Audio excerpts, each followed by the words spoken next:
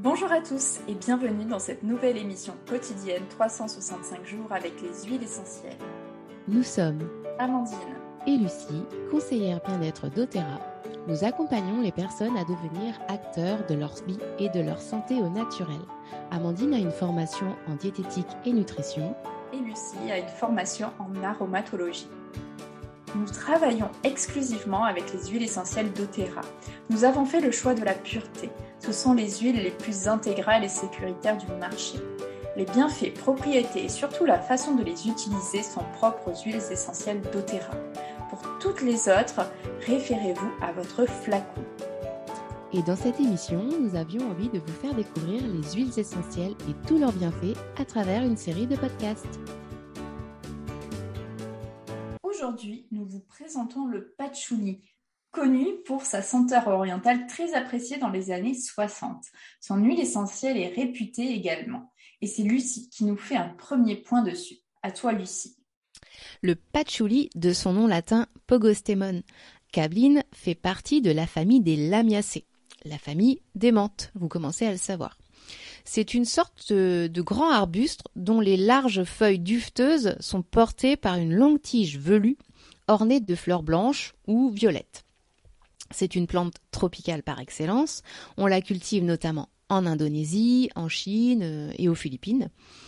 Et euh, ce sont les feuilles séchées de la plante qui seront distillées et qui vont produire l'huile essentielle. Alors c'est une huile essentielle qui est assez épaisse et de couleur plutôt foncée. Donc les producteurs vont venir mettre les feuilles à sécher au soleil quelques jours et c'est à ce moment-là qu'elles commencent à dégager euh, leur parfum. Elles sont ensuite distillées à la vapeur d'eau pour obtenir l'huile essentielle. Donc son odeur est très caractéristique et ne laisse pas indifférent. Alors soit on aime, soit on n'aime pas, mais en tout cas on s'en souvient.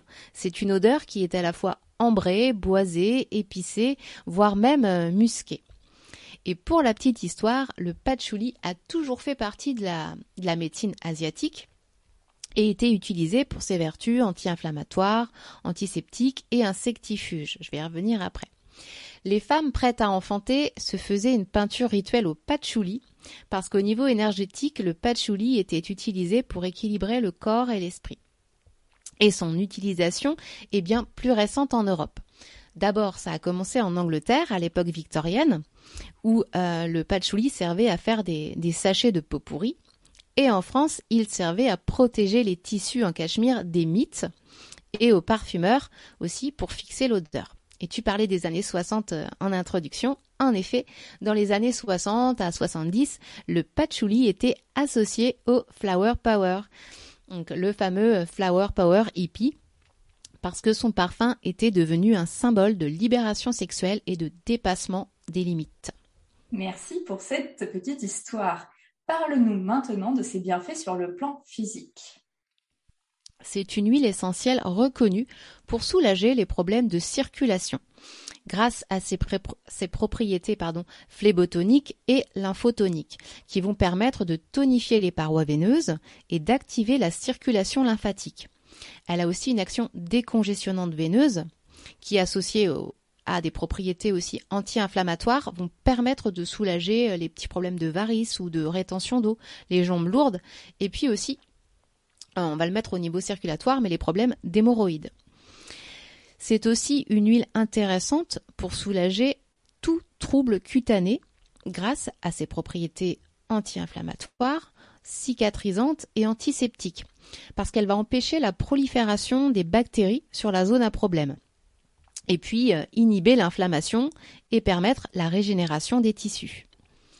Elle peut être intéressante en cas de grande fatigue, d'épuisement général, parce que ses actions toniques et revitalisantes sont un vrai plus pour stimuler l'ensemble de l'organisme et son action tonique digestive associée aux propriétés précédentes vont être va, être pardon, très apprécié en cas d'infection euh, digestive pour permettre à l'estomac de retrouver un fonctionnement optimal. Et puis, je parlais tout à l'heure du, du, flower power et de la libération sexuelle. C'est aussi parce que le patchouli a un parfum réputé pour être un véritable aphrodisiaque. Des propriétés très intéressantes pour la peau et la circulation. Et au niveau émotionnel, quels sont ses bienfaits? Eh bien, elle fait circuler les énergies et amène ancrage et équilibre. Je vais développer. Quelquefois, on a l'impression de se sentir déconnecté de notre corps, complètement dévitalisé. Un sentiment peu agréable qui nous amène à nous juger, qui nous amène euh, des tensions corporelles. Et c'est là que l'huile essentielle de patchouli va être intéressante, car elle va nous ramener à la réalité, en nous permettant de reconnecter et d'accepter notre corps. Elle aide à apprécier la magnificence de notre corps et à libérer nos pensées de dégoût, de honte corporelle, de tout jugement et va nous permettre d'accepter notre corps et surtout d'accepter notre entière individualité. C'est une huile essentielle qui nous incite à battre nos peurs, incertitudes et émotions négatives pour nous ancrer, nous enraciner dans le présent et la stabilité. Elle va ouvrir l'esprit pour vivre plus sereinement. Et en ce sens, elle nous stimule, elle nous amène à, dépasser nos limites, et elle va stimuler aussi notre force physique et mentale. Et puis elle va stimuler en fait tout désir, toute sensualité et permettre la créativité. Une huile à utiliser avec le pamplemousse pour l'acceptation du corps. Génial. Comment l'utiliser au mieux? D'abord en voie aromatique. Vous pouvez la diffuser, l'inhaler à même le flacon ou venir vous faire un masque aromatique entre, vos mains pour profiter de ses bienfaits. En revanche, elle a une odeur vraiment entêtante. Hein. Donc si vous la trouvez trop forte, n'hésitez pas à la diffuser avec une autre huile essentielle. Amandine parlait justement du pamplemousse. Eh bien, la combinaison patchouli pamplemousse, elle est parfaite. Que ce soit pour accepter son corps ou pour s'ancrer dans le présent ou tout simplement pour faire circuler toutes les énergies du corps en même temps. Enfin, dans tout le corps en tout cas. Et puis vous pouvez la diffuser également avec d'autres agrumes ou d'autres huiles euh, chaudes. Donc la diffusion, elle est possible pour les femmes enceintes et les enfants, mais vous veillerez à, diffuser dans la pièce sans la présence de la femme enceinte ou des enfants. Vous pouvez la diffuser euh, avant pour purifier la pièce, pour profiter des bienfaits, et puis euh, après avoir attendu un certain temps, là vous pourrez revenir dedans. Ensuite, on peut l'utiliser en voie topique. Donc l'huile essentielle de patchouli, elle peut être utilisée en massage cutané pour soulager les troubles digestifs. Donc là, vous allez pouvoir appliquer quelques gouttes d'huile essentielle préalablement diluée dans, dans, une huile végétale et venir réaliser des mouvements circulaires dans le sens des aiguilles d'une montre sur le ventre.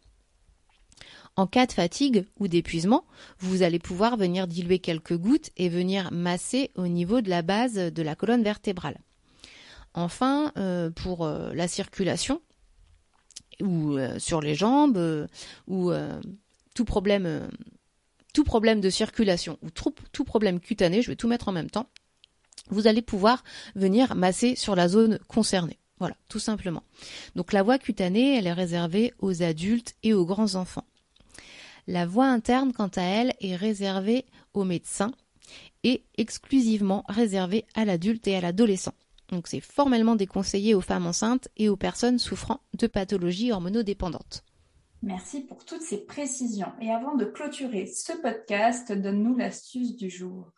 Alors deux petites astuces aujourd'hui. La première, qui sera appréciée des ados, puisqu'elle consiste à faire disparaître les boutons. Ados ou adultes d'ailleurs. Donc les personnes concernées euh, par, euh, par les problèmes de peau, pourront appliquer une goutte pure d'huile essentielle de patchouli avec un, coton-tige matin et soir pendant trois jours. Et les personnes les plus sensibles pourront bien sûr euh, la diluer dans une goutte d'huile végétale. Donc là, vous appliquez sur le bouton à faire disparaître matin et soir pendant trois jours. Normalement, après, il disparaît. Et la seconde astuce, ça va être pour soulager justement les problèmes de circulation. Donc en prenant compte des indications et contre-indications, bien évidemment, dont je vous ai parlé juste avant. Donc les personnes qui peuvent viendront diluer deux gouttes d'huile essentielle de patchouli dans un peu d'huile végétale et viendront masser leurs jambes en partant de la cheville et en remontant. Eh bien, merci pour votre écoute. Vous pourrez nous retrouver dès demain pour un nouveau podcast essentiel. En attendant, vous pouvez réécouter, tester et nous partager votre expérience et vos propres astuces en commentaire sous ce podcast. On vous dit à demain. Essentiellement votre, Amandine et Lucie.